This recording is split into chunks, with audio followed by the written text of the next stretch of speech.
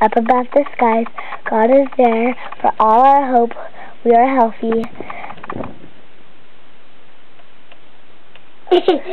Amen.